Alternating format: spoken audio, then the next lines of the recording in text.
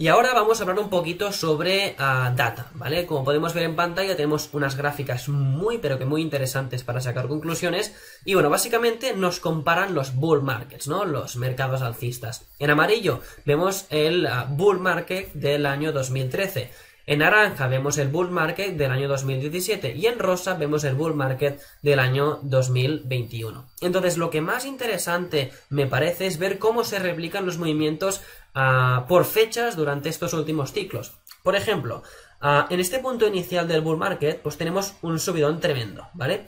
Un subidón tremendo que después tiene una corrección. Y este movimiento de aquí equivale al movimiento que tuvimos cuando se superó el máximo histórico de los 20.000 dólares. Pasamos de los 20.000 a los 40.000 en tan solo mm, un mes. Así que esto corresponde con la subida que anteriormente en 2013 se tuvo. Evidentemente es mucho más brusca, el subidón y el bajadón, pues básicamente porque se trataba de un activo con un market cap mucho menor, ¿vale? Pero al final corresponde la subida y la bajada con lo que ya habíamos tenido anteriormente.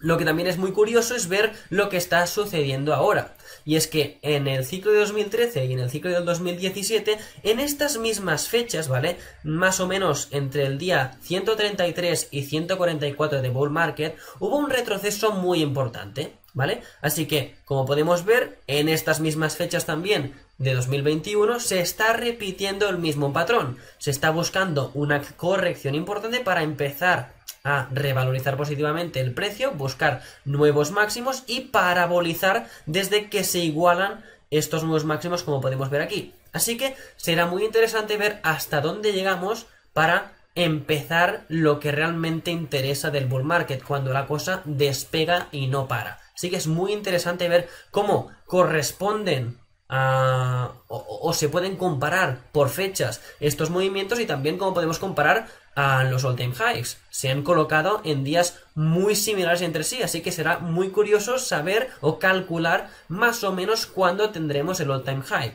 Lo que sí que es bastante interesante y os quería comentar es que yo supongo que este all-time high se va a encontrar un poquito antes. La gente siempre intenta como avanzarse un poquito.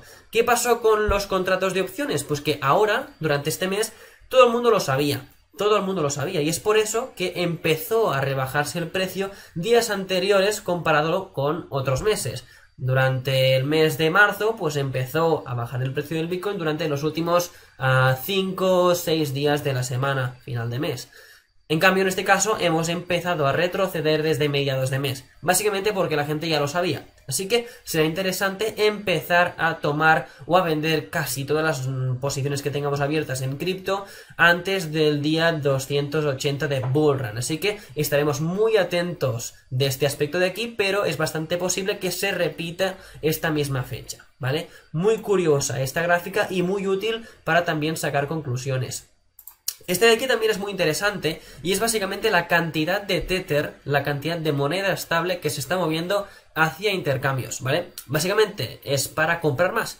Es toda esta gente que tenía pues tomados ciertos beneficios y ahora pues viendo que Bitcoin está tan barato lo está pasando hacia intercambios para luego comprar más y más Bitcoin. Ahora, pues muchísima gente, como hemos visto en el indicador anterior, pues está vendiendo porque tiene miedo. Así que estas instituciones, incluyo, estas personas que tienen gran capital o que saben y conocen el mercado, pues están ah, ingresando muchísimos tethers intercambios para poder comprar masivamente más y más Bitcoin, ¿vale? Muy curiosa esta gráfica, de hecho es el segundo día con más capital ingresado en Exchange y seguramente este pico de aquí equivalga también con un retroceso importante, ¿vale? Es uh, muy normal que suceda esto. Entonces, más cositas. Y esta gráfica me parece súper, pero que súper interesante. Pues vemos el balance de las wallets de exchanges, ¿vale? Al final, como podemos ver, la mayoría está en rojo, pero al final de mes, a los 30 días, podemos ver que el balance total es positivo. ¿Qué quiere decir esto? Pues que en la mayoría de exchanges se está retirando más que ingresando a bitcoins. Cuando se ingresan bitcoins a intercambios, básicamente son para venderlos, ¿vale? Así que si realmente tenemos esto en positivo, es un indicador de que el mercado puede ser un poco bearish, ¿vale? Que se dice que puede ser un poco bajista. Lo que realmente me hace pensar lo contrario es ver cómo, por ejemplo, en Coinbase esto cambia totalmente. En Binance sí que estamos muy positivos, ¿vale? Están entrando muchísimos Bitcoin, pero en Coinbase está pasando lo contrario.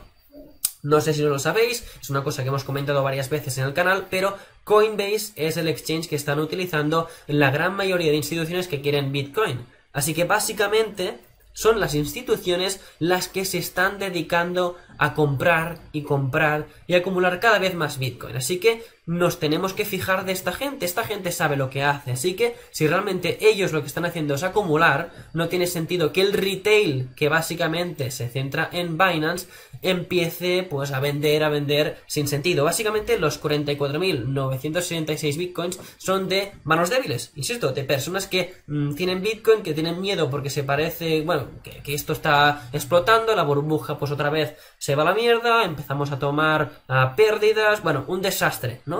Pero realmente esto pasa en Binance y en Coinbase vemos todo lo contrario. Así que es interesante ver realmente la gente poderosa lo que están haciendo. De hecho, en la gran mayoría de los exchanges se están retirando. Y esto es muy positivo para el mercado. Al final, menos Bitcoin sin intercambios, más escasez, más precio. Así que sería interesante que este numerito de aquí sea constantemente negativo.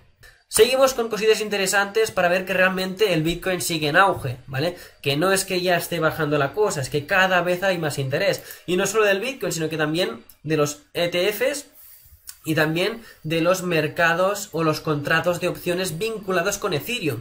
Como podéis ver aquí, tenemos la cantidad de contratos que se están haciendo de Ethereum.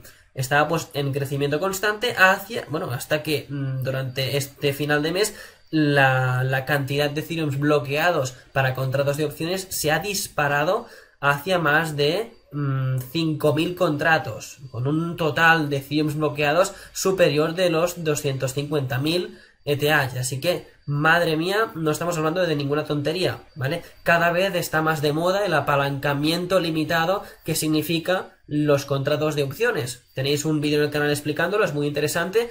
Y pues en Bitcoin sigue cada vez más masivo, pero las monedas pequeñas que también están entrando en este sector de los contratos, pues también están experimentando un auge tremendo, como es el caso de Ethereum, con más de 250.000 uh, Ethereum bloqueados. Podéis entender que este número es tremendo y seguramente el mercado de Ethereum también a corto plazo esté un poquito vinculado con lo que son los contratos de opciones de, Bitcoin, ¿vale? En Bitcoin hemos visto que durante el último viernes de mes hay el desbloqueo de capital y es por eso que durante los últimos días de mes hay una pequeña corrección. Es posible que esto empiece a suceder con Ethereum también. Así que sería interesante tenerle un ojo encima para saber cómo sacarle beneficios a este movimiento. Y en esta gráfica vemos como los ah, ecosistemas que están dentro del mundo de la blockchain pues también están subiendo y, no paran, ¿vale?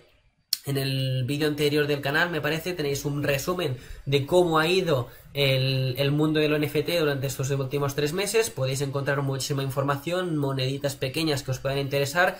Mm, de verdad es muy chulo y lo podéis ir a visitar porque hay muy buena información.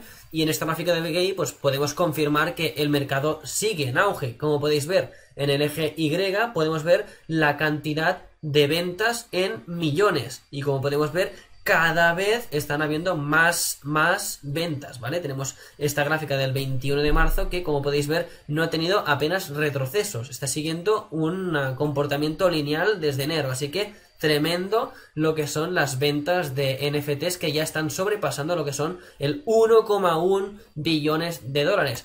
También el ecosistema DeFi, que también es un tema que se habló en el registro o en el informe trimestral. Tenéis otro vídeo en el canal hablando de sobre las DeFi que están más de moda, las DeFi que están subiendo y las DeFi que vienen a cambiar el juego para los próximos meses. Y es que es normal que siendo tan potente este ecosistema, pues los usuarios del ecosistema DeFi no paren de subir.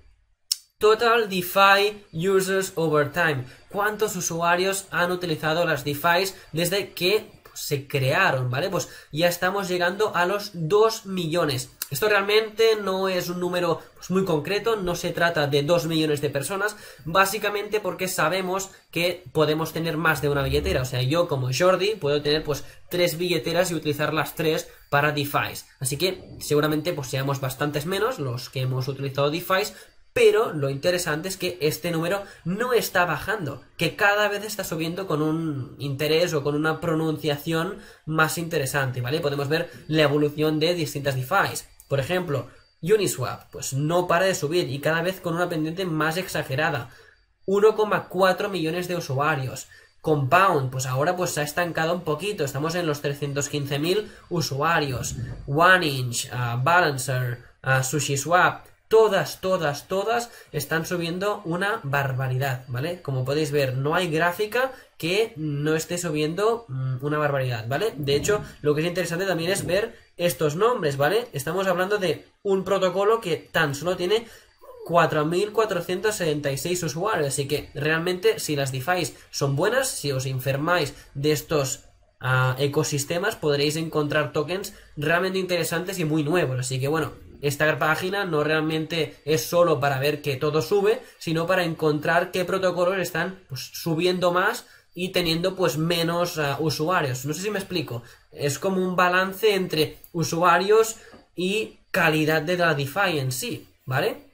Sabemos todos que Uniswap es muy potente, pero tenemos que ver qué competidores que ahora son pequeños pueden llegar en algún día al nivel de Uniswap.